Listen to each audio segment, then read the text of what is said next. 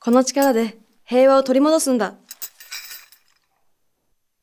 前とは違うってところ、見せてあげる。私の幸せを邪魔するな急祖猫を噛むって知ってる？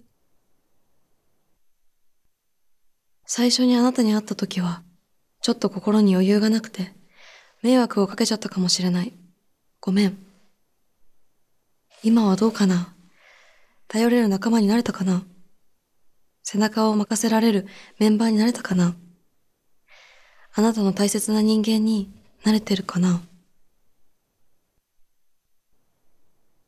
辛い時も苦しい時も悲しい時も心が折れそうな時もあなたはみんなを支えてくれているよね。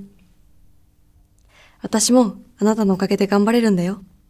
本当にありがとう。でも、あなたが辛くなったら私が支えてあげるから、無理はしないでね。